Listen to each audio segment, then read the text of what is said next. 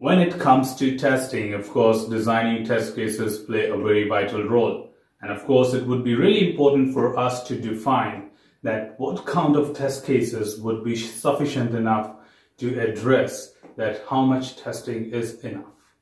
We may need different number of test cases, but at the same time, we also have to take care that whatever number of test cases you prepare, are they efficient enough to validate the functionality and also to deal with a lot of other factors. So let's talk more about this today.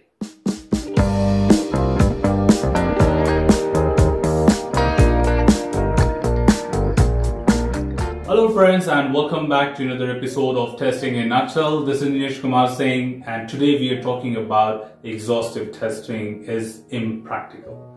This is one of the other principle out of seven principle that exhaustive testing is impossible to be conducted or we also say it as exhaustive testing is impractical to be conducted. But before we talk about the principle in detail, let us understand the most important component of this principle that is what is exhaustive testing.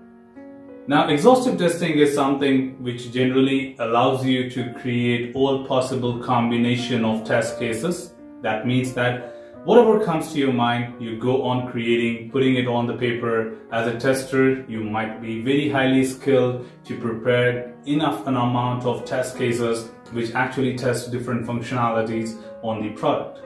But of course, when you talk about creating the test cases, there is no limit to that if I give you certain time and I give you an instruction that this is the scenario what you have, this is the requirement which we have to test, and you have two days of time with you and write test cases for this.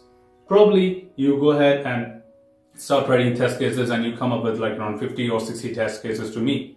Next day morning, if I come back and ask you that, do you think I, you know, you can write some more test cases? Then you say, yeah, but do I have time?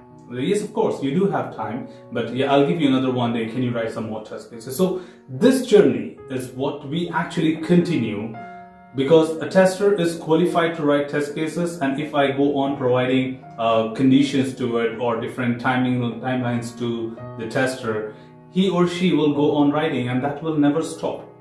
Now when the test case preparation will not stop, then how would you guarantee uh, an execution of them? What if you create probably like more than 10, 12,000, 20,000 test cases and you do not have a commitment to execute all of them? So what's the point of writing it?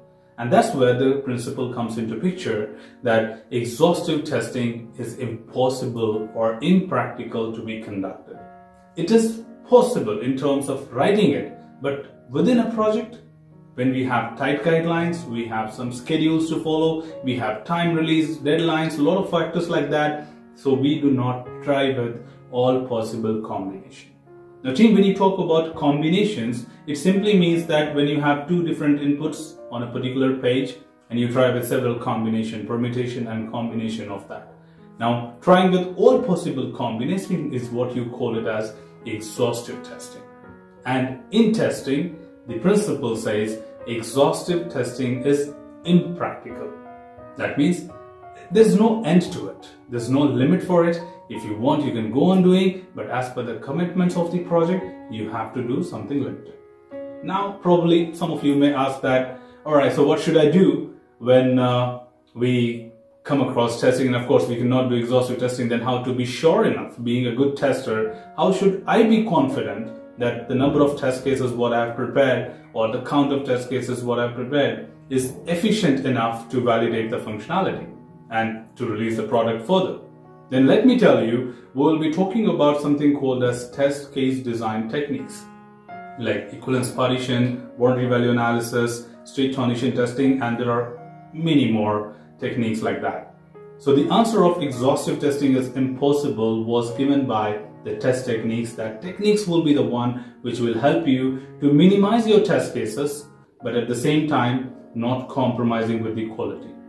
So you will reduce the number of test cases, create limited number of test cases, but not compromising with the confidence, quality, or finding the defects. Now I think all of us understand very well that why exhaustive testing is called impossible or why it is called impractical to be conducted in industries in real time. So that's all from this particular episode team. Uh, I hope you enjoyed this episode and of course had something new to understand from here.